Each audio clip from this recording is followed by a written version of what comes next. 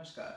My name is Hriday Bhutdev from Vancouver, Canada, and I have been attending the International Masterclass series for one year.